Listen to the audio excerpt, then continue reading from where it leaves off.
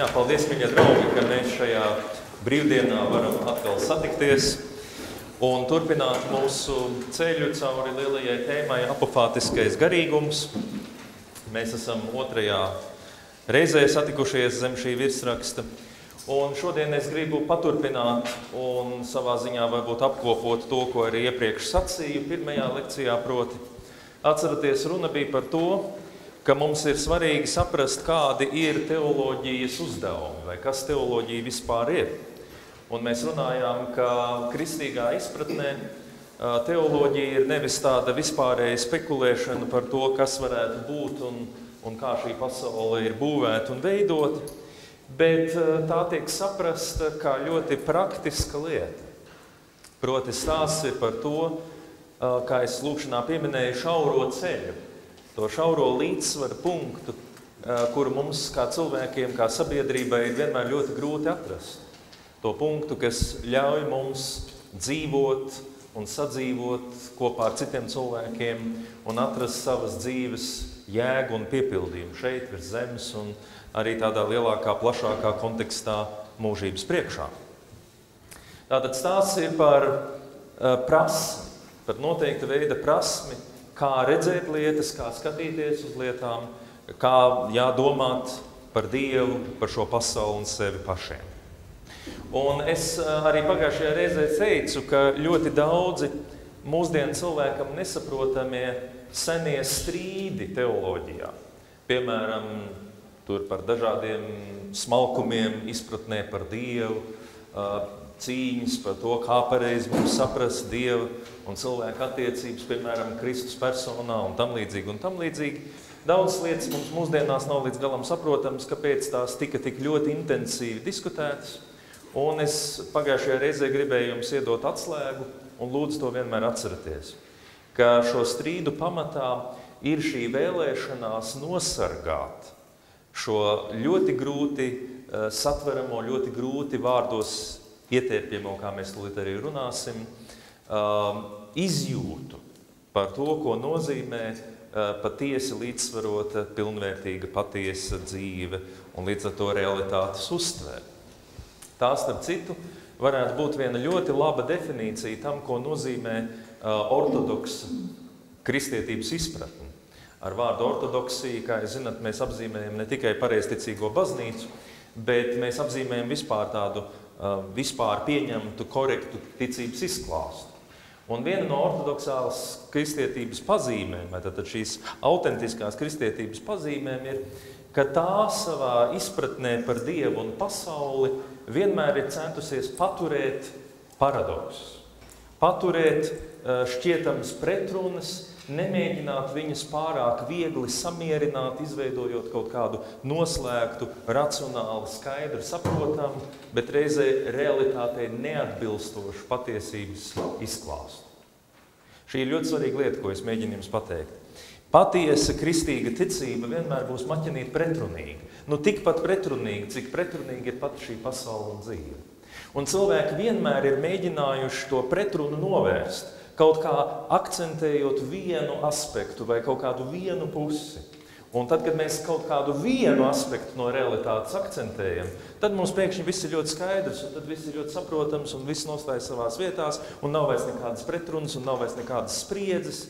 Bet problēma ir, ka mēs daudz ko esam atstājuši ārpus iekavā. Mēs vairs neredzam lietas tādas, kādas viņas ir. Bet būt redzīgam, būt godīgam pret šo realitāti, nozīmē vienmēr paturēt, paturēt šīs pretrunas. Piemēram, slavenākās no pretrunām kristīgajā ticībā ir tā, ka Dievs ir pilnīgi pāri šai pasaulē esošs. Pagājušajā reizē mēs par to runājām. Ja? Viņš nav vienkārši visas esības summa. Viņš ir kaut kas pilnīgi cits, kaut kas absolūti atšķirīgs. Un tajos izdevuma materiālos, kas ir jūsu rīcībā, jūs varēsiet mājās vēl pārlasīt rūpīgi cik dažādi teologi dažādos laikmetos, un tie ir tikai daļa no visa, protams, ir vienmēr to apgalvojuši. Dievs ir kaut kas pilnīgi, pilnīgi, pilnīgi cits nekā tas, ko mēs sev apkārt redzam un, un iedomājamies un priekšstatam par viņu. No otras puses, šis pilnīgi citādais vai svešvārdā transcendentais Dievs ir vienlaikus pieejams cilvēkam. Kā tas tā var būt? Ka mēs varam saskarties ar to, ar ko nav iespējams saskarties. Kā mēs varam saprast to, ko mēs nevaram saprast. Bet tā ir patiesība. Šīs mūžam mums nesaprotamais lielums ir sevi atklājis un darījis zinām. Un mums ir savādā kārtā iespēja viņam tuvoties. Vai, piemēram, vēl viena pretruna. Mēs sakam, Dievs ir labs. Nu, viena no tādām ļoti senām atziņām attiecībā par Dievu. Ne? Ka, ja mēs varam kaut ko par viņu sacīt, tad to, ka viņš ir labs. Bet no otras puses, gan Bībele, gan visi mēs saprotam, apgalvo to, ka mm, šī pasaule, ja mēs tā nopietni ņemam konceptu Dievs, ir viņa radīta. Un šajā pasaulē ir dažādas lietas, labas un ļaunas, gaišas un tumšas. Nu, vismaz no mūsu cilvēciskā viedokļa. Un atkal tā ir nesamierināma pretruna. No vienas puses Dievs ir labs, no otras puses viss, kas ir, arī tas, kas mums ļoti nepatīk un dara ļoti lielas ciešanas, ir viņa radīts. Kā tas ir iespējams? Un atkal ir tas milzīgais kārdinājums noliekt ļaunumu un sacīt, viss ir kārtībā, tādā primitīvā nozīmē, pilnīgi viss ir labi. No otras puses, varbūt noliekt to, ka Dievs visu ir radījis. Un atkal tās ir herēzes, ar kurām kristietība savā laikā ir cīnījusies. Tātad herēze pēc manas eh, vienkāršotās definīcijas vienmēr ir vienpusīgs skatījums uz lietām. Herēze parādās tur, kur mēs ar savu cilvēcisko prātu gribam pretrunas atrisināt un dzīvot viegli cepuri kuldam tālāk. Mēs paņemam daļu no patiesības, mēs to uzskatām par visu patiesību, līdz ar to mums ir viegli dzīvot, tikai ir viena problēma. Mēs vairs neesam kontaktā ar realitāti. Un savukārt šī te grūtā teoloģiskā lieta ir šos, šos pretrunīgos dzīves aspektus kaut kā vākt kopā, noturēt viņus, jo tieši tajā spriedzē, tur starp, pa vidu starp visiem mūsu formulējumiem un racionālajām atbildēm uz mūsu jautājumiem atrodas Dievs, ja tā drīkst teikt, un realitāte pati, mūsu dzīve tāda, kāda viņa ir. Lūk, un līdzīgi tāpat kā mums ir liela tendence mēģināt uh, lielus jautājumus atbildēt ar vienkāršotām atbildēm. Tieši tāpat mums arī ir ļoti liela tendence vispār uh, problēmas šajā pasaulē risināt ar ātriem, skaidriem risinājumiem. Un, ja jūs sekojāt līdz tam, ko es pagājušajā reizē sacīju, tad atcerieties, mēs caur tādiem dažiem posmiem nonācām pie atziņas, ka viens no galvenajiem iemesliem, atkal kārtīgi reizes, kādēļ kristietība saka, ka Dievs ir kaut kas, kas ir pāri šai pasaulē, iemesls tam ir tāds, ka caur to mūsu ticība vienmēr akcentē, ka tas, kā lietas ir šobrīd, nenozīmē, ka viņas tādas būs vienmēr. Un ka šī pasaule ir atvērta pārmaiņām un līdz ar to arī cerībai. Ja, mēs atceramies, definējām, ka Bībeles dievs ir cerības dievs, tas, kurš glābi, tas, kurš dod iespēju tiem, kas ir līdz šim bijuši apspiesti, kas ļauj kaut ko šajā pasaulē izmainīt. Bībeles dievs nav vienkārši absolūts, kas ir tāds, kāds viņš ir. Un, un nejauciet šeit to, ka, piemēram, hm, kā lai mums pasaka, varētu būt tā, ka mēs iedomājamies, ka šī pasaule ir kā tāds mehānisms, ko Dievs ir palaidis. Un, protams, tur ir kaut kāds process, ne, kas tajā pasaulē notiek, bet tas process ir pilnīgi paredzams un pilnīgi nemaināms tādā nozīmē, ka tur vienkārši tā kā pulksteņa mehānismā viss griežas uz priekšu. Ne par tādu Uh, lietu mēs runājam, kas vienkārši tagad atzītu, ka pasaulē kaut kāda pārmaiņa notiek, ka vienkārši zeme riņķo ap sauli. Mēs runājam par to, ka šajā pasaulē varētu ienākt un ik pa brīdim notiek kaut kas jauns. Un tas ir neparasts apgalvojums, kas runā pretī mūsu racionālajai domāšanai. Un, uh, lūk, mēs nonācām pie tā, ka Bībeles Dievs ir šis cerības Dievs, kurš mēģina, nevis mēģina, bet caur kuru mēs mēģinam vienmēr atcerēties, ka šī dzīve ir atvērta jaunām iespējām. Bet uh, lieki piebilst, ka arī šī doma par to, ka Dievs ne tikai akceptē to, kas ir, ne tikai Dievs ir tāds attaisnojums esošai lietu stāvoklim, situācijai, bet Dievs kaut ko jaunu šai pasaulē ienes un rada, arī šo lietu cilvēki sagroza kā vien viņi vēlas. Jūs saprotat, teoloģijas galvenā problēma ir cilvēks pats. Viņai ir divas problēmas. Viena problēma ir, ka mēs runājam par kaut ko, kas gandrīz pēc definīcijas vispār ir viņpus mūsu spējām viņu aptvert. Kā Augustīns vienā no citātiem skaisti saka, ja tu esi kaut ko sapratis, tad droši zini, ka tas nav Dievs. Ja? Respektīvi, ja tev liekas, ka tu esi sapratis Dievu, tu vari būt pilnīgi pārliecināts, ka tu esi kaut ko sajaucis un kaut ko citu esi noturējis par Dievu. Nu, mūsu problēma ir Dievs, bet mūsu otra problēma ir cilvēki. Mūsu otra problēma ir tā, ka, lai cik pareizi mums būtu vārdi, Piemēram, galvenais iebildums pret apofātisko teoloģiju ir tāds, ka Dievs taču mums ir atklājis sevi Bībelē. Bet Bībelē taču ir sacīts, tā saka tas kungs, tur taču ir Dieva vārds, tur taču ir šī skaidra atklāsme. Uz ko mums kā teologiem jāsaka, jā, nu tas, ka Bībelē ir kaut kas sacīts, vēl nenozīmē, ka mēs saprotam to, kas tur ir sacīts. Un sapratuši, mēs spējam realizēt to, kas tur ir sacīts. Jo vienmēr tur otrā pusē ir šis cilvēciskais faktors.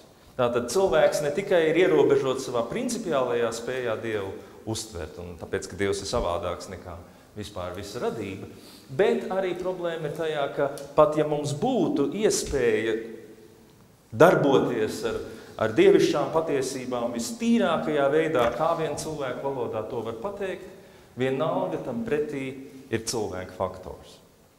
Cilvēks ir tas, kas dieva darbību pārdzīvo, piedzīvo un vēlāk mēģina to nodot tālāk.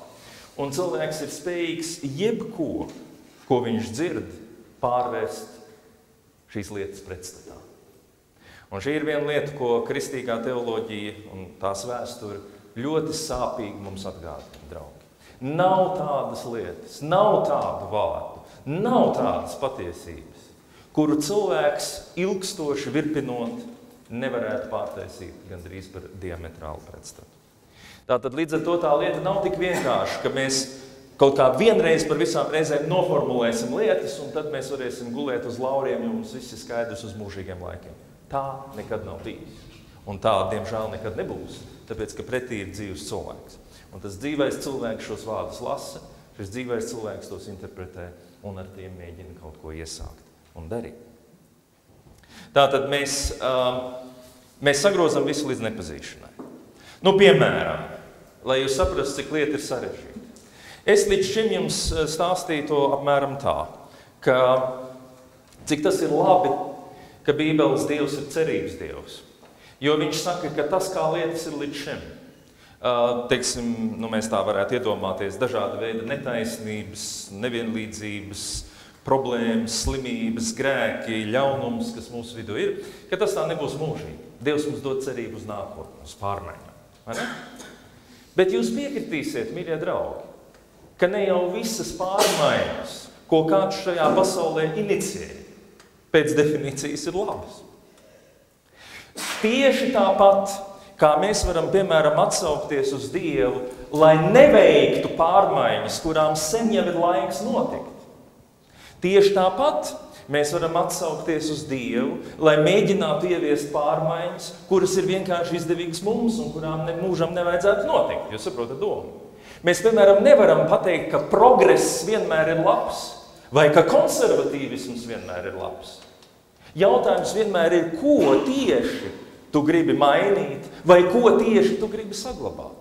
Ja tu, piemēram, gribi saglabāt kaut ko, kas ir labs un patiess un īsts un tā tālāk, tā ir viena lieta. Bet, ja tu gribi saglabāt savu privileģēto stāvokli, savu varas pozīciju, ja tu gribi saglabāt to, kas reāli rada netaisnību, tad tas ir ļaunums. Šis tavs mēģinājums kaut ko saglabāt un paturēt tādu, kāds tas ir. Savukārt, pilnīgi pretēji būtu, ja tu mēģini kaut ko mainīt, bet tas iemesls, kādēļ tu gribi kaut ko mainīt, ir, ka slēptā veidā tu īstenībā centies īstenot savas intereses, un šīs pārmaiņas vislabāko ideālu vārdā patiesībā ir jaunas problēmas un jauna ciešana avots.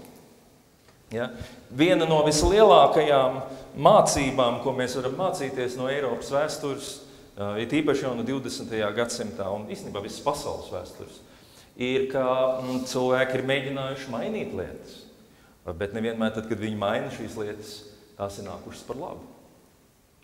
E, es nezinu, vai man izdodas jūs pietiekami samulsināt.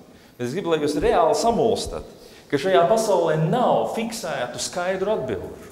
Piemēram, nevar vēlreiz atkārtoši pateikt, ka jebkuras izmaiņas ir labas vai jebkurš konservatīvisms ir labs.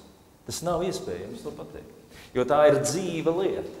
Un šādā nozīmē, jebkurš, kurš saka, ka liberālisms ir labs, vai ne, ne, konservatīvisms ir labs, nepasaka precīzi neko.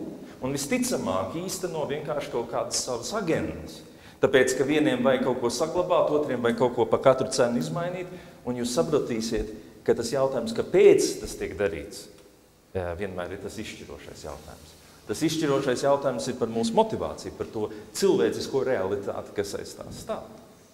Tieši tāpat, jebkura teoloģiska sistēma, ko mēs izveidojam, jebkura gatava fiksēta atbildi, kuru mēs izveidojam, ir iespējams potenciāls jaunu problēmu sākums. Komunisti mēģināja mainīt šo pasauli. Viņi mēģināja viņu uzdarīt, padarīt līdzvērtīgāku, vienlīdzīgāku, eh, labāku. Nu, rezultāts bija, protams, tāds, kāds viņš ir. Vai tāpēc mēs varam sacīt, ka kapitālisms ir kristīgs? Respektīvi, mums kā kristiešiem vienmēr ir jāatbalsta brīvais tirgus. Ļoti labs jautājums. Tāpēc, ka šīs vienkāršotās atbildes mums ļoti patīk. Bet īstenībā iedziļināties un saprast, kas aiz kā stāv un kas īstenībā ir tas, tas dziļākais motivators, kas kaut ko virza un vada, ir vienmēr ļoti sarežģīti. Un tas ir tas, kas ir teoloģijas uzdevums. Ar to, piemēram, Jēzus atšķīrās no sava laika eh, garīgajiem eh, līderiem, kas viņam bija bieži vien opozīcijā, lai gan ne visi, piemēram, farizējiem eh, vai raksturmācītājiem, kā jaunā darība viņus sauc. Tā atšķirība bija tieši tajā. Farizēji zināja, kas ir rakstīts, viņi vienmēr varēja atsaukties uz Bībeles citātiem, bet Kristus nemitīgi jautāja un skaidroja un rādīja uz to, kāpēc kaut kas ir rakstīts. Un zināt, kas ir rakstīts, ir viena lieta, bet zināt, kāpēc tas ir rakstīts, kāds ir bijis tas mērķis un nolūks, kādēļ kaut kas ir sacīts. Tā ir pavisam cita lieta. Un, ja mēs to aizmirstam, tad mēs esam spējīgi visaugstākos ideālus, kā jau sacīju, izmantot savās personiskajās interesēs. Un um, teoloģija to vienmēr ir zinājusi. Sacīdama, ka cilvēks ir dieva radīts pēc dieva līdzības, apveltīts ar milzīgu potenciālu, ar milzīgām iespējām, un vienlaikus cilvēks ir kritis grēkā. Mūsos ir iedzimtais grēks. Un atkal mūsdienu cilvēki domā, ka mēs te vienkārši kaut kā nonicinām cilvēka stāvokli un mēs mēģinām mūs visus nolikt zem liela vainas mākoņa. Bet uh, es gribētu jums šodien vēl izmantojot izdevību izstāstīt vienu lietu, un tad mēs to varēsim salikt kopā visu. Kāpēc un kā visbiežāk cilvēks teoloģiju un vispār visu realitāti un patiesību sagroza un saliek visu tik eleganti pa plauktiņiem, ka beigu beigās mums vienkārši varam pabrīnīties, kā tas viss ir iespējams. Um, un redziet, viena no tādām ļoti palīdzošām lietām mūsdienās, lai mēs saprastu, kas ir iedzimtais grēks un kas vispār ir tas, kas mums traucē arī bībeli lasīt, arī teoloģiju normāli uztvert un izdarīt, nosacīt pareizus secinājumus. Ir viena ļoti interesanta lieta, attiecībā par cilvēku.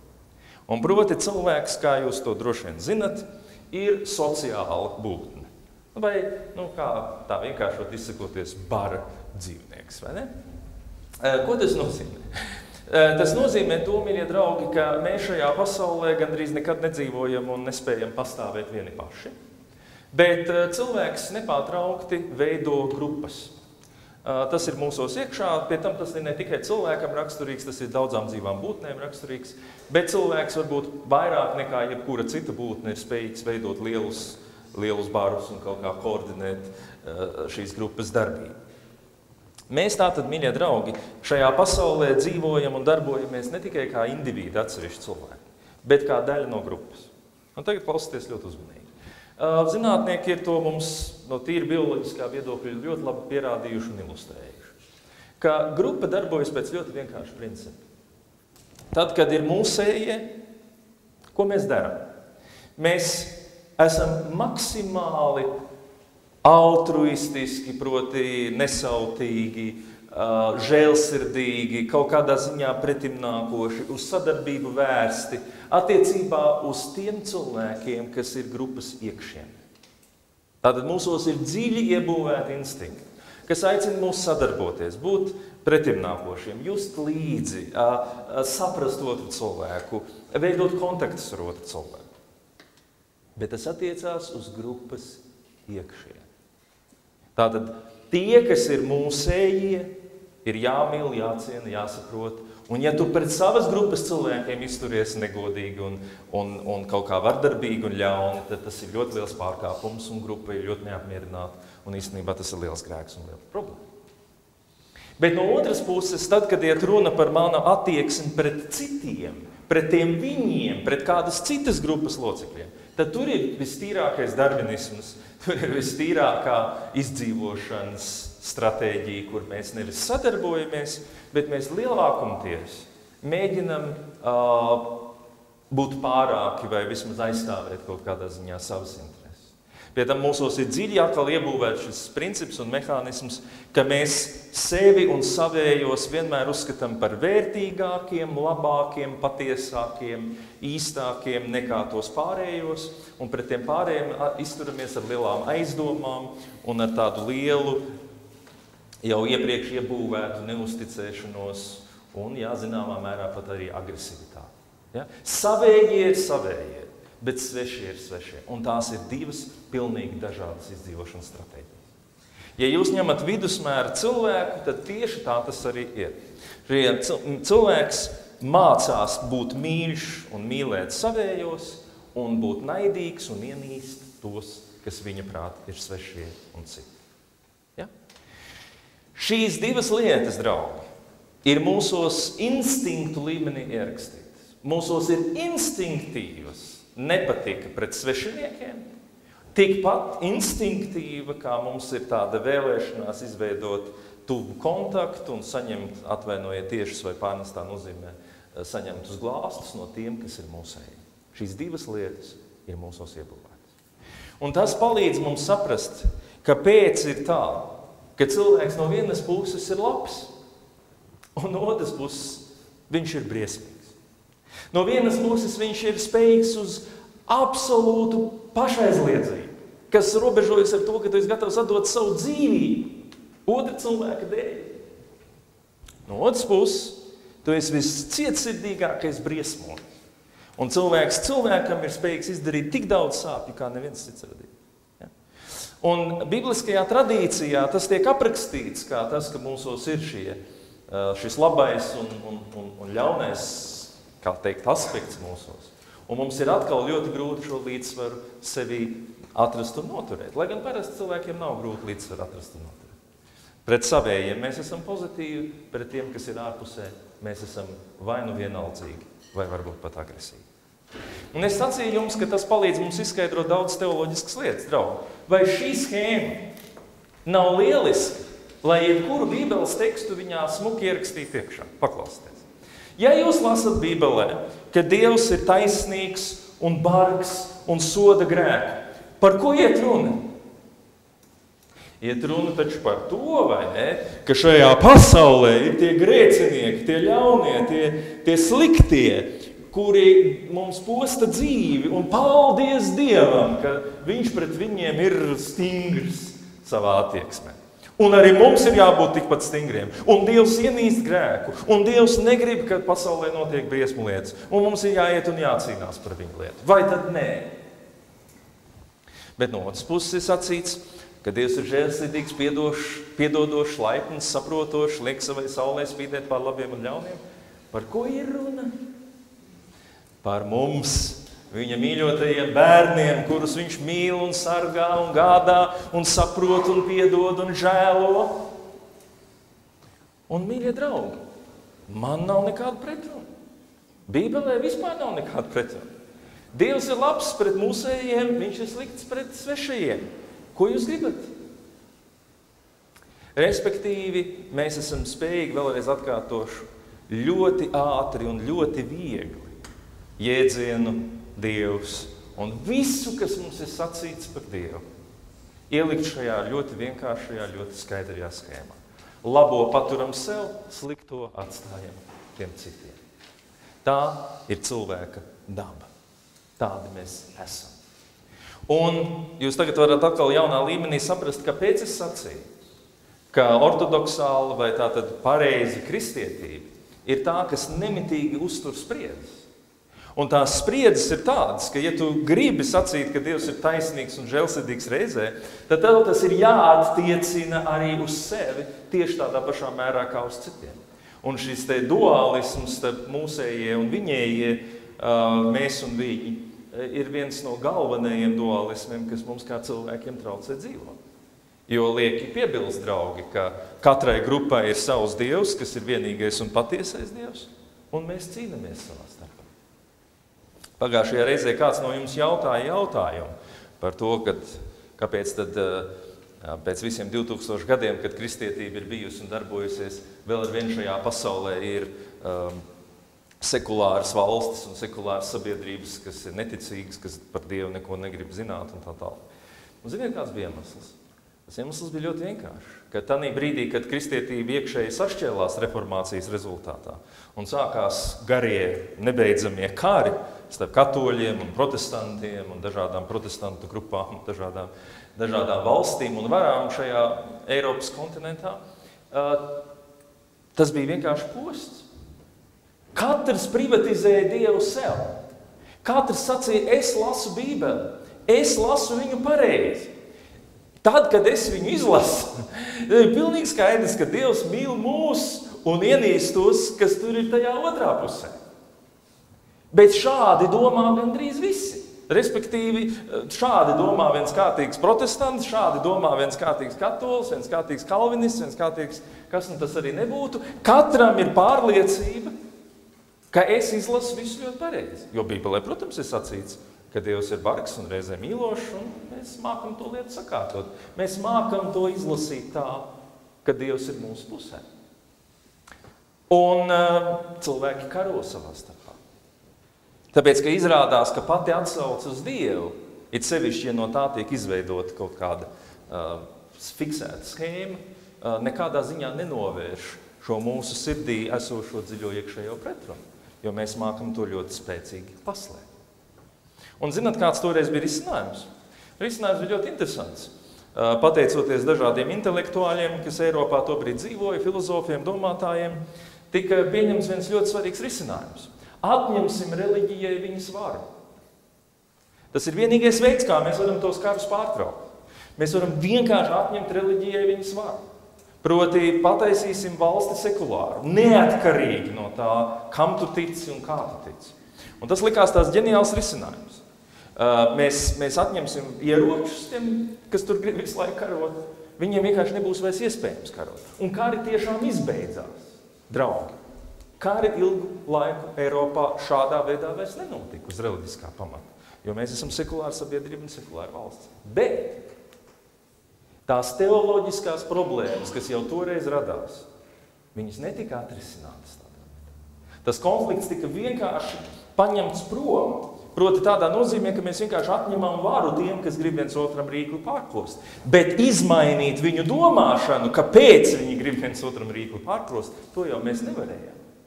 Un, draugi, mēs tagad dzīvojam 21. gadsimtā, kur cilvēkiem ir mazliet tā kā apnicis bez reliģijas uh, dzīvot un meklēt savas dzīves jēgu. Un reliģija atgriežas atpakaļ politiskajā arēnā. Uh, caur to, ka cilvēki saprot, ka viņiem ir viņu pārliecība un kāpēc viņi šajā brīvajā sabiedrībā nepausta savus uzskatus un savu pārliecību. Reliģija dod lielu, lielu saliedētību grupas starpā. Un kas šobrīd notiek, draugi, ir, ka mēs teoloģiski esam atpakaļ pie šīs pamatproblēmas, uz ko es mēģinu jums norādīt. Proti, mēs atkal esam atpakaļ pie tā, ka mums ir valstis, kas atrodas vienas reliģijas ietekmē, koncentrējas uz to, blakus rodas valstis, kuras atrodas citas reliģijas ietekmē un kontrolē. Un šis senais risinājums, ka mēs vienkārši tagad atņemsim varu reliģijai, īsti vairs nedarbojas.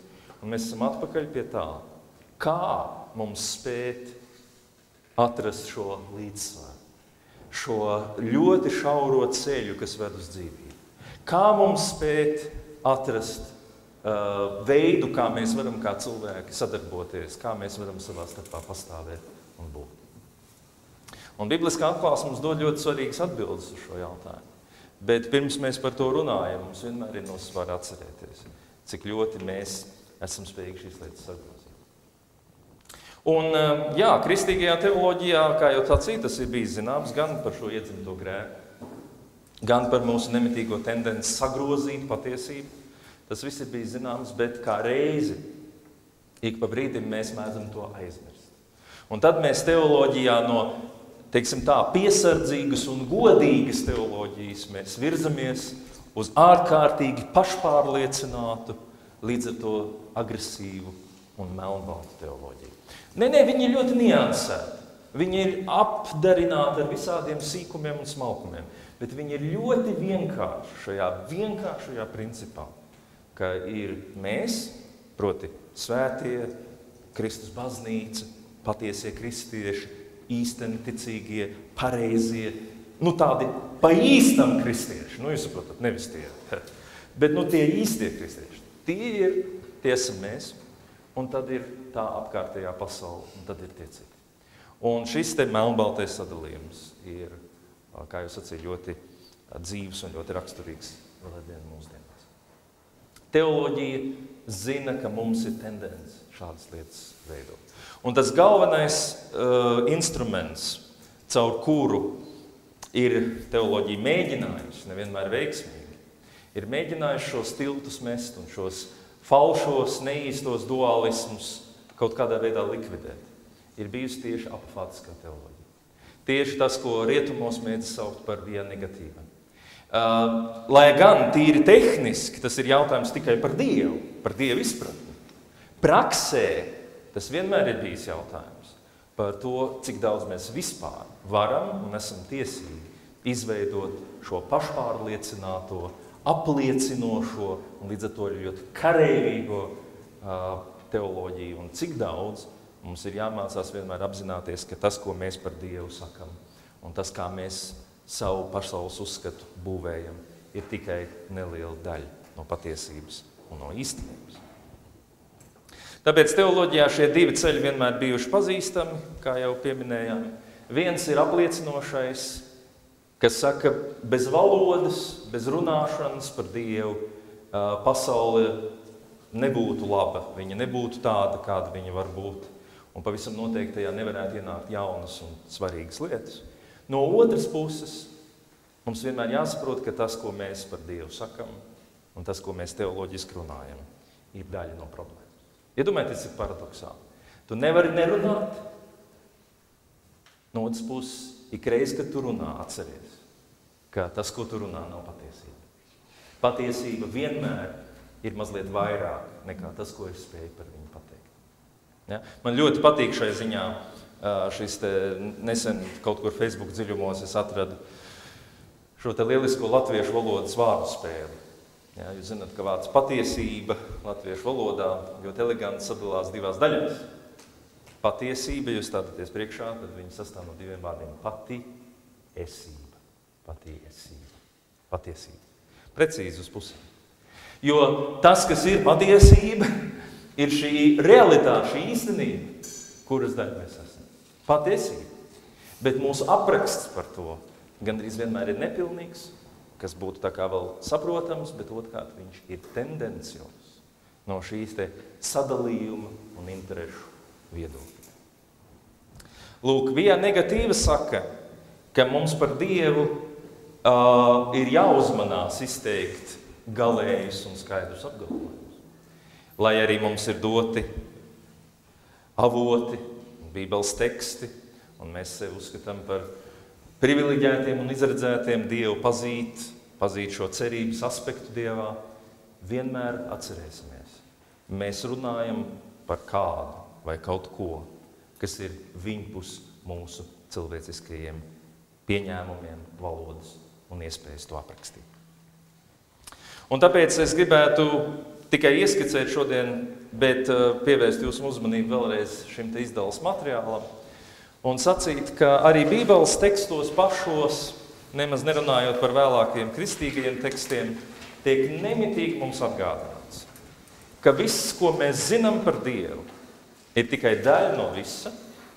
Tas nenozīmē, ka mums ir jāizturas kaut kā vieglprātīgi pret to, kas ir par viņu sacīts mūsu tradīcijā, vēsturē, Bībeles tekstos, baznīcas vēsturē, teoloģijā, doktrīnās. Tas nenozīmē, ka tas viss ir nepareizi. Tā būtu ļoti jocīga uh, apofātiskās teoloģijas interpretācija, ja mēs uzskatītu, ka tas viss vienkārši ir jāatmet. Nē, nē, nē, nē, nē. bet stāsts ir par kaut ko pavisam citu. Stāsts ir par to, ka tad, kad tev gribās pieķerties kaut kam un sacīt, ah, tas man ir izdevīgi, to es saprotu, tas ir tas, ko es gribu darbināt. Es vienmēr uzmanīgs. Vai tu patiešām saproti, kas ar to ir gribēts pateikt? Jo mums ir tendence lietas pārprast. Un ir divi milzīgi svarīgi teksti, viens no vecās darbības un viens no jaunās darbības, kuri runā par šo apfātisko dieva raksturu, teoloģijas raksturu kā tādu. Un tas uh, vecās darbības teksts ir stāsts par dieva atklāsmu Sinai kalna. Uh, tiem, kas varbūt nezināt, atgādināšu pavisam īsi, ka uh, tas ir centrālais notikums piecas mūzes grāmatu kontekstā, nu, izņemot varbūt pasaules radīšanu. Tas ir brīdis, kad Dievs dod savus likumus savai tautai. Tātad šos principus, pēc kuriem mēs dzīvojam, pēc kuriem mēs varam to līdzsvaru noturēt. Un viens no tādiem principiem ir, tev nebūs nokaut, un cits princips ir, tev būs godāt savu tēvu un māti, un cits princips ir, tev nebūs dievu attēlot nekādos veidolos, un tā tālāk. Tā tālāk. Jūs zināt, desmit baušas vai ne. Bet šī Sinai atklāsme tik ļoti interesanti aprakstīta. Dievs atklājas mūzumu uz kalna. Un kā jūs to lasat otrā mūzes grāmatā, 19. nodaļā un vēlāk pārstāstu veidā arī 20. nodaļā, tad, kad Mūzes kāpja šajā kalnā, lai satiktos ar Dievu, lai iegūtu šo pilnīgo un maksimālo dieva atklāsmi un izpratni par viņu, mēs lasām, ka šo kalnu apņem biezs mākonis, bieza migla, tumsa. Un Mozus ieiet šajā tumsā, un tur viņš atrodas vaigu pret, vaigu, vaigā sarunājas ar Dievu. Viņš atrodas nepastarpinātā Dieva klātbūtnē, un pēc tam viņš kāp lejā un no tā, ko viņš ir piedzīvojis, viņš paņem līdzi šīs akmens plāksnes ar dieva likumiem vai dieva baušļiem, ko Dievs pats, tā saka teksts, ir šajos akmeņos iegrebis. Un kristīgiem teologiem tas ir vienmēr bijis tāds atgādinājums, draugi, ka mēs nedrīkstam aizmirst, ka viss, ko mēs zinām par Dievu, ir ļoti svarīgi. Bet tas, kas Dievs pats ir, ir vairāk līdzīgs šim noslēpumam, šai mūsu prātam līdz galam neaptveramajai īstenībai. Es nezinu, vai man ir izdevies jums nokomunicēt to, bet es ļoti gribētu, lai jūs pamēģināt izdomāt vēlreiz to. Kāpēc ir svarīgi sajust šo bijību mākoņu priekšā? Kāpēc ir svarīgi saprast, ka pēdējā nozīmē Dievs ir kaut kas viņa pus tava prāta un tavas valodas? Tas iemesls ir tas, ka pēdējā nozīmē Pat arī Dieva likuma un Dieva baušļi var tikt pārprast. Un vienīgais, kas mums dod cerību, ka mēs varam šo līdzsvaru savā dzīvē ievērot un atrast, ir nepastarpināta Dieva klātbūtne, Dieva gara vadība. Un šī nepastarpinātā Dieva gara vadība ir raksturīga ar to, ka viņi atrodas viņpus mūsu racionālajām schēmām un gatavajām atbildēm un šabloniem. Ja? Tad vienmēr cilvēkam ir tendence sajaukt dzīvo dieva realitāti ar aprakstu par Dievu. Un tik līdz mums ir apraksts par Dievu, tā es uzreiz ar tām akmens plāksnēm varu kādam atvainojiet, iet virsū un, un, un darīt savas lietas.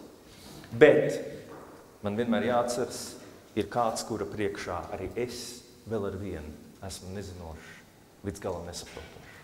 Jūs saprotat, tas, kas ir tas dzīvības ceļš, kā citā vietā Bībelē arī skaisti tiek sacīts, ir bijība Dieva priekšā. Un tās nav bailes no Dieva. Bet tas ir stāsts par to, ka tu saproti, ir viens, kura priekšā mēs visi esam līdzvērtīgi. Tā ir tas, ir tas vienīgais pieturas punkts, kas var mums palīdzēt nekļūt vienam pret otru nežēlīgiem, vardarbīgiem, netaisnīgiem.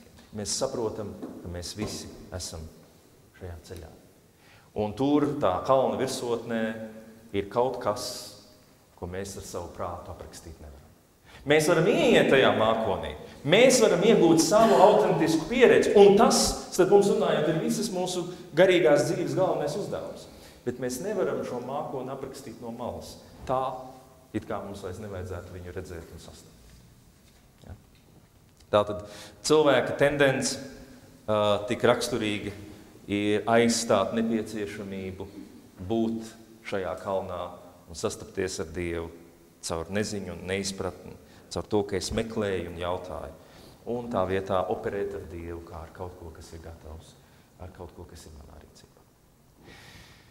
Starp mums runājot, draugi, arī šo neziņas mākoni var pārvērst par instrumentu. Vai ne? Un tas ir tas sarežģītais. Pat arī to, ka Dievu nevar izzināt, es varu izmantot, lai kādam kaut ko iebilst uzbrukt. Bet es šeit runāju par to, ka tā ir dziļi personiska pieredze.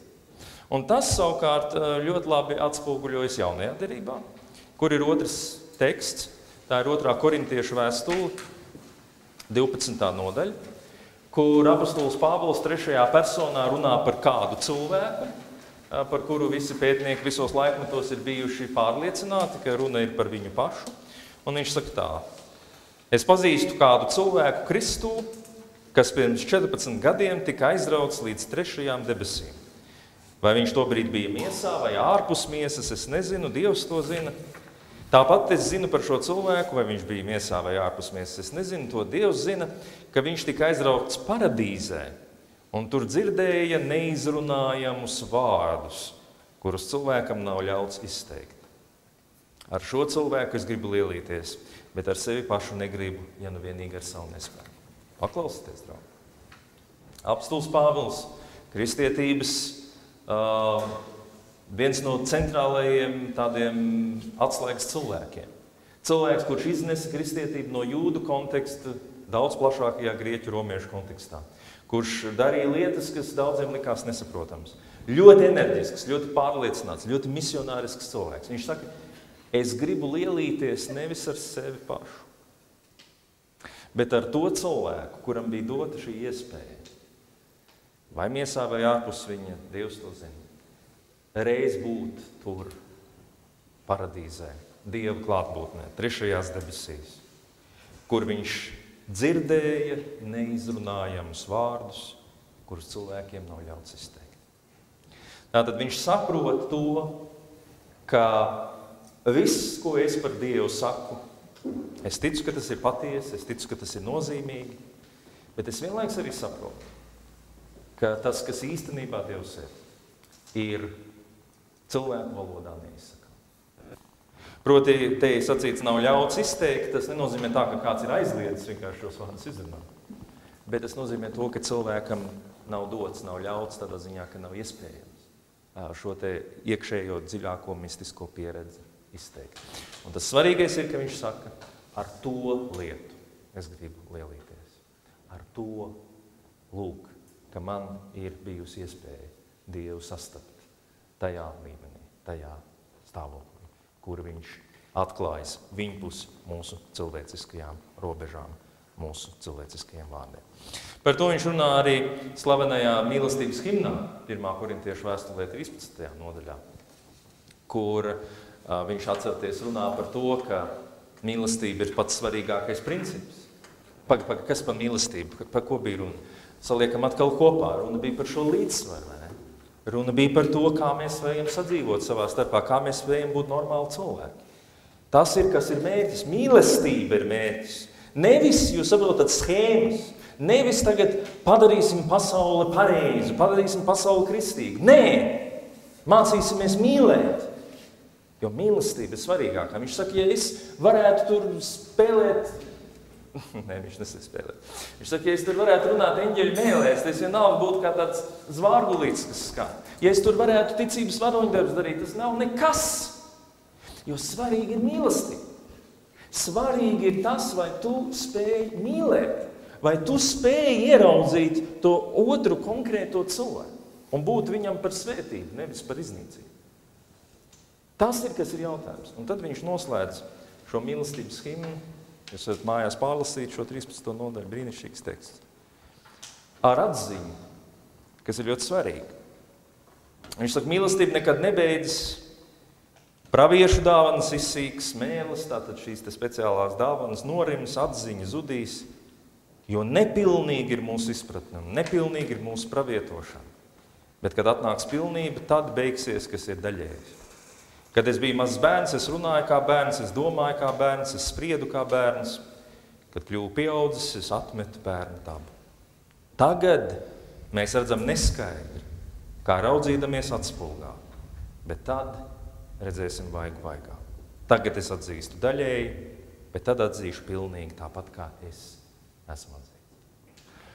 Un šeit Pāvils vairs nerunā tikai par abstraktu dievu konceptu. Viņš šeit runā par to, ka mūsu spēja izprast lietas un saprast lietas šajā pasaulē ir vienmēr ierobežotas. Mēs redzam, viņš saka, kā spogulī, kā atspulgā, un, eh, un eh, tas tēls ir no, no tā laika pasaules, kur spogulis nebija tā kā mums diezgan precīzi attēlojošs, bet spogulis bija vienkārši nopulēta, eh, teiksim, vara vai kapara plāksne, kurā tu tiešām kaut ko varēji redzēt, bet tas ir tikai apveids, tas ir tikai Un to raksta apustulis Pāvils. To raksta apustulis Pāvils. Tāpat kā Mūzes dod mums savus likumus pēc tam, kad viņš ir pabijis mākonī, kur viņš ir vienkārši Dieva klātbūtnē. Tāpat arī apustulis Pāvils saka, mēs šobrīd atzīstam tikai pa daļai. Un es esmu to piedzīvojis. Es esmu to piedzīvojis. Pirms 14 gadiem es piedzīvoju to pieredzi, kur es biju Dieva klātbūtnē. Un tad, kad es biju viņa klātbūtnē, es dzirdēju vārdus, kurus nav iespējams cilvēkam pateikt. Es saprotu, ka viss, ko mēs par viņu sakām, ir tikai daļa. Tāpēc tas, ko mēs varam darīt, ir mēs varam tiekties pēc šīs mīlestības, tiekties pēc šī līdzsvara. Bet mēs nekad nevaram uzskatīt, ka mēs esam viņu atraduši, ka mums viņš pieder. Tas cilvēks, kurš saka, ka es mīlu, ir bīstams. Tas cilvēks, kurš saka, es tiecos mīlēt, es gribētu mīlēt, mans mērķis ir iemācīties mīlēt. Nu, tam cilvēkam jūs varat mēģināt sākt uzticēties. Tam cilvēkam jūs varat mēģināt sākt domāt, ka varbūt tur kaut kāds pozitīvs process ir jānotiek. Jo mēs esam šajā ceļā. Un kamēr mēs esam ceļā, mēs esam pareizā stāvoklī. Tiklīdz mēs uzskatām, ka mēs esam galamērķī, mēs esam aizvirzījušies prom no šī pareizā stāvokļa. Un tāpēc, mīļie draugi, šodien vēl tikai gribu noslēgt ar to, ka apofātiskā teoloģija, šī te mācība par to, ka Dievs ir pārāks par visu mūsu valodu un mūsu vārdiem, vēlreiz atkārtošu, nav pretrunā tam, ka mēs par Dievu runājam, nav pretrunā tam, kas Bībelē ir atklāts, bet tās ir divas teoloģijas puses, kuras savā starpā nemitīgi sadarbojas. Ja es pateikšu, ka es par Dievu neko nevaru pateikt, es neko par viņu nezinu, Neko. Tā nav teoloģija. Tādā nozīmē, ka tam nav nekāda efekta. Tur mīlestība nerodas. No otras puses, ja es sacīšu, es visu zinu par viņu, man viņu vairs nevajag pašu. Es būšu izdarījis ļoti lielu kļūdu. Es būšu pārvērtis savu teoloģiju par jaunu elpu. Tāpēc šie divi aspekti ir vienmēr jātur līdzsvarā. Mēs kaut ko zinām, un kaut ko saprotam. Un reizē mēs nezinām, un reizē mēs nesaprotam. Pie kāda moderna autora es izlasīju tādu ļoti paradoxālu teicienu. Piedodiet, ja tas kādu nopietnēs. Viņš sacīja tā, cilvēku valoda, valoda, vārdi par Dievu, par patiesību. Cilvēku valoda ir vienlaikus eksorcists. Nu, zināt, eksorcists, ne? tas, kas ļaunos garus padzēr. Valoda ir instruments, ar ko mēs ļaunumu varam padzīt. Un vienlaikus Valoda ir arī pats dēmons, kas ir jāizdara. Ja? Tas ir tas paradoks. Tātad ar vārdiem mēs varam izdarīt ļoti daudz laba, ar vārdiem mēs varam izdarīt ļoti daudz slikta. Un nav tādu vārdu, ar kuriem jūs nevarētu izdarīt kaut ko sliktu. Nav tādu vārdu. Pat arī apfātiskās teoloģijas vārdu. Pat arī tas, ka mēs sakam, ka mēs par Dievu nav tādu vārdu. Tas ir, ko es gribu jums iestāstīt. Kas man palīdzēs neizdarīt šīs kļūdas? Kas man palīdzēs mīlestību neaizmirst? Kas man palīdzēs nepārvērst ticību Kristum par ļaunumu avotu? Jūs domājat, vārdi? Nē, gars. Bet kā mēs garu dabūjam? Caur vārdiem, jā. Bet no otras puses, caur vārdiem, kuri mūs mudina Dievu pašu meklēt. Kas mūs mudina nonākt līdz garīgai pieredzē. Ja jūs lasīsiet tālāk, es nākamreiz pakomentēšu vairāk tos tekstus, kas ir jūsu rīcībā. Bet, ja jūs palasīsiet tālāk, jūs redzēsiet, kā baznīca tēva tā arī runā par šīm lietām. Viņi saka, ka vārdi nav spējīgi izteikt Dievu, bet vārdi ir spējīgi mūsos radīt vilkni un vēlēšanos Dievu pazīt. Vārdi ir tie, kas liek mums viņu meklēt. Un apofātiskā teoloģija tāpēc ir tik svarīga. Viņi saka, nekad neiedomājies, ka tu vari vienkārši runāt par Dievu. Tev ir nepieciešams viņu pazīt. Tev ir nepieciešams ar viņu saskarties personiski. Tas precizēs visus tavus konceptus, doktrīnas, vārdus un palīdzēs no viņiem izveidot kaut ko sakarīgu un kaut ko vērtīgu. Un šeit es vārdu burtiskā nozīmē nocitēju uh, Akvīnu Stūmu. Viņa citāts nav šais jūsu lapās, šis citāts. Bet cits starpā viņš tieši tā arī sacījis. Ir, ka tieši garīgā pieredze ir tā, kas precizē mūsu mācību par Dievu. Un tāpēc apofātiskā teoloģija ir šis aicinājums meklēt Dievu pašu, nevis vienkārši samierināties, ja tā drīkst sacīt, ar to, ko mēs par viņu sakām un runājam. Jā, lai mēs viņu meklētu, mēs izmantojam Bībeles vārdus. Tie ir tie, kas mums viņu atklāja vispilnīgākajā iespējamā veidā. Mēs tā kristieši ticam. Bet tajā pašā laikā mēs vienmēr apzināmies, ka mēs esam spējīgi šos vārdus pārprast. Un mums ir jāmeklē kāds veids un ceļš, kā mēs varam šo Dieva nepastarpināto tiešo klātbūtni nepazaudēt, neaizmirst par viņu neaizmirst par to, cik tas ir svarīgi. Un tāpēc nākamajās reizēs jā, mēs runāsim gan par šiem citātiem, gan arī jau konkrētāk par to, kā, kādi ir praktiskie ceļi, kā, kā tad redzējušie teologi to ceļu vai metodi, vai vismaz kaut kādu daļu no tā eh, garīguma, ko mēs veidojam, kas var palīdzēt mums eh, šajās mūsu pašu prāta veidotajās lamatās neiekrist. Bet, eh, bet noturēt šo līdzsvaru šo ļoti grūto, svarīgo lietu. Labi, mīļie draugi, es pielikšu punktu. Varbūt ir kādi vēl jautājumi, pirms mēs varam arī paklusēt un pameditēt. Droši es būtu priecīgs, ja jūs man jautātu, uzdot kādu kaut ko, kas jums ir uz sirds. Lūdzu.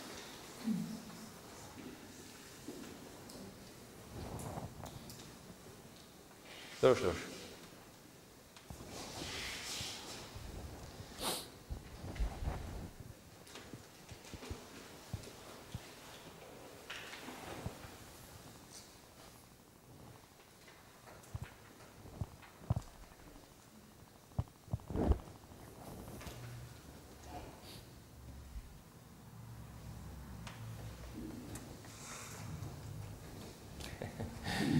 Es ieturu garu pauzi, tāpēc, ka es zinu, ka tā varētu būt slikta zīme, kad nav nekāda jautājuma. Tas tā es tā satraucos jau pilnīgi. Smaga tēma, jā, tā varētu būt. Ah. Nu jā. Jā, droši.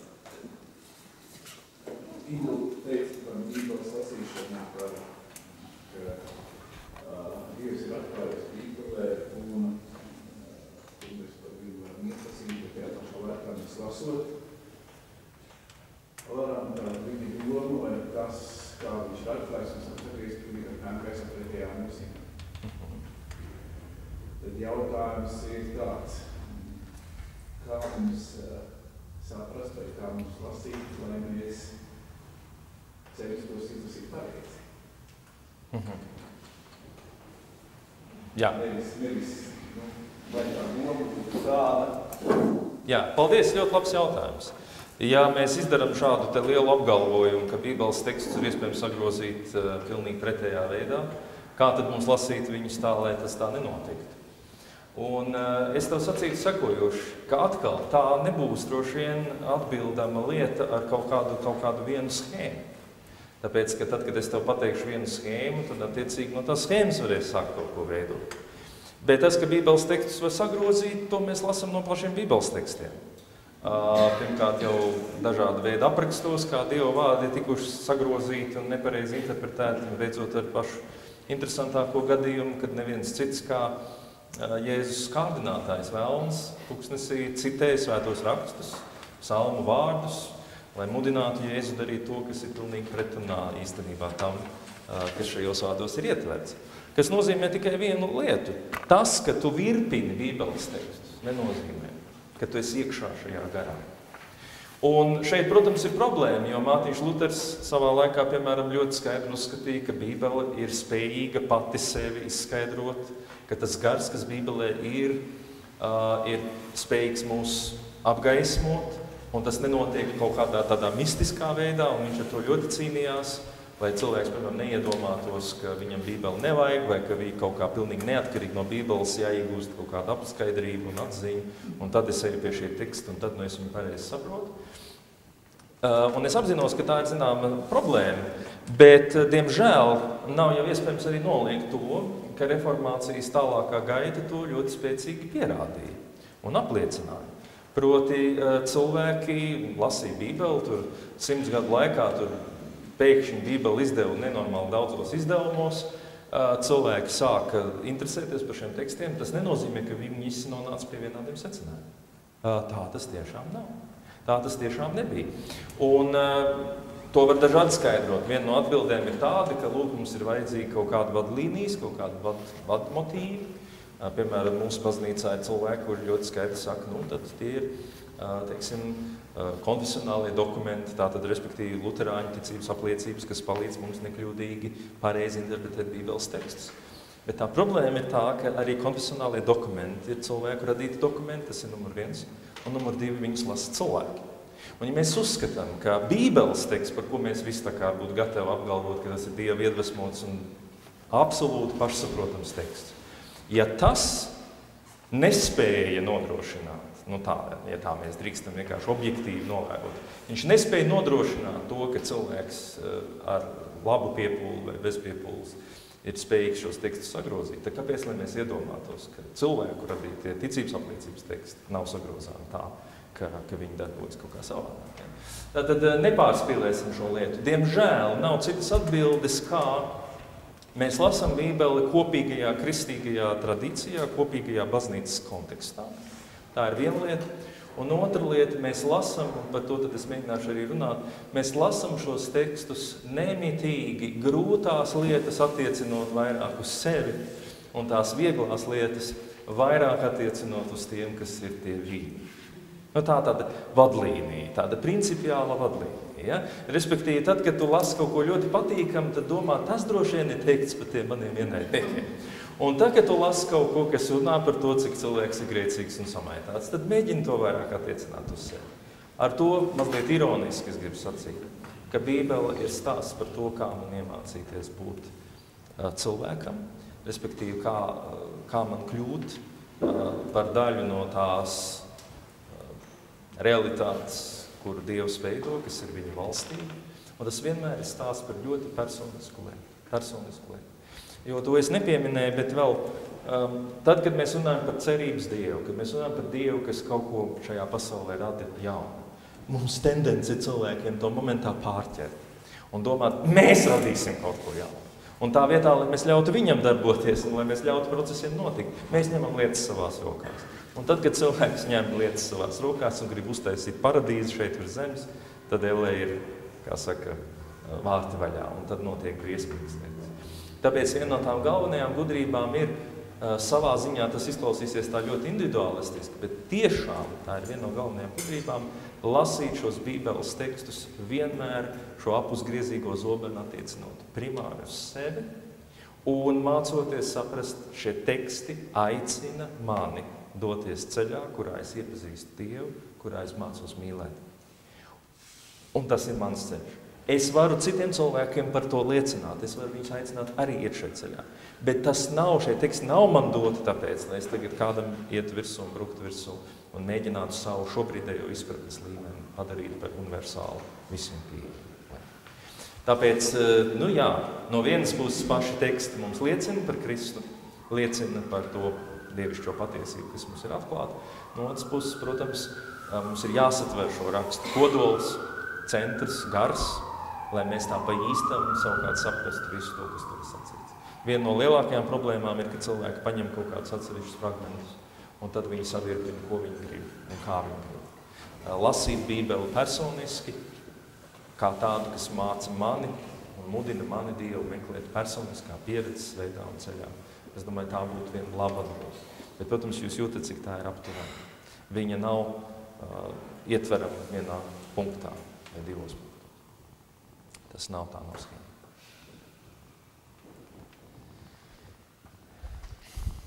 Viss ir sarežģīti. Ja? Ir tāds sajūta. Tas labi. Tas ļoti labi. Tas ir tas neziņas mākslinieks. Jo sākumā liekas, ka viss ir skaidrs. Vai ne? Nu, kurš tad nezina, kas te pa lietām vispār? Ko te mēs te ņemamies? Ko mēs te daramies? Mums taču ir pilnīgi viss skaidrs pateikts. Uh, jā, vien brīdi tā tiešām liekas, kamēr tu ieraugi, ka viss ir pilnīgi. Fuj, vai ne? Fuj. Bet tad, kad ieraugi, ka viss ir pilnīgi otrādi, tas nenozīmē, ka viss ir pilnīgi otrādi. Tas visticamāk nozīmē, ka patiesība ir kaut kur, kur mēs esam viņas priekšā aicināti to ieraudzīt, novērtēt un te tuvoties ar bijību, ar bijību, ar pietāvu, ar respektu pret to. Teoloģiju veidot ar respektu pret to, ko mēs darām. Un cik ļoti viegli mums ir šajā ziņā. Labi, mīļie draugi, mēs uztaisīsim tad nelielu meditācijas brīdi.